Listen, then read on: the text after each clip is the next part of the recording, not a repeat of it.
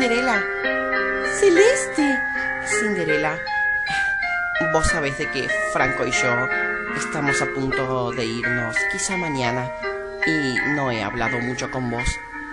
Sí, me enteré de que se van. ¿Pero qué pasa? ¿Acaso se sentían incómodas acá en mi casa? No, no, no es eso. Imagínate, Cinderela, de que Franco quiere trabajar y yo también quiero hacer algo. Tenemos pensado poner un negocio. ¿Sí? ¿En dónde? En Buenos Aires. Un negocio de comidas. Ay, pero me parece muy bien. Además, vos cocinas espectacularmente bien. Gracias. Quería agradecerte eso. Muchísimas gracias por toda la hospitalidad, por tu amistad, por haberme escuchado tanto, por haber sido un paño de lágrimas para mí.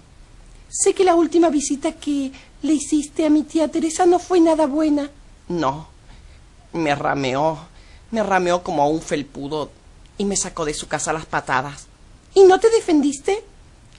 Pensé en hacerlo, pero ella es más grande y no quería yo pelearme y nada, no quería agrandar la bola de nieve que, que ya ha crecido tanto. Lo siento mucho. Bueno, ¿vamos a tomar un té? Vamos, yo lo preparo y cuando esté listo te lo digo. Pero si ahí hay... Mm, ah, no, no, pero ese ya está frío. Ah, está bien. Voy a traer agua caliente, espera acá.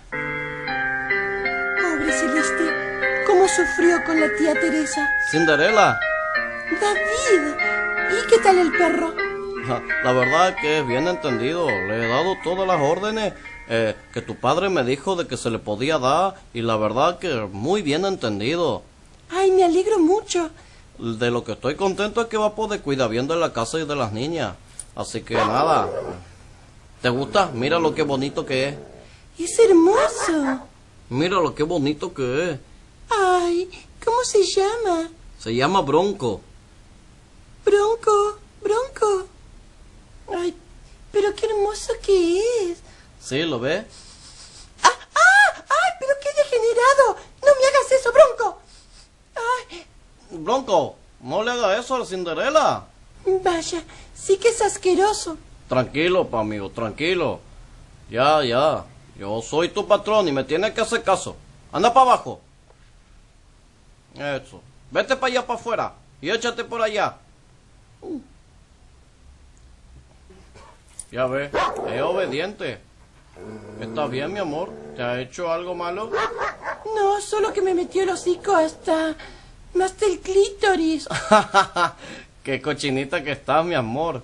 Mm. No me vas a decir que has quedado caliente después de la olfateada del perro. No me digas eso, David. Pero la verdad es que me dio gracia. Vamos a la pieza, he quedado caliente. Ah, bueno. Ah, bueno, ahora mimito voy para allá.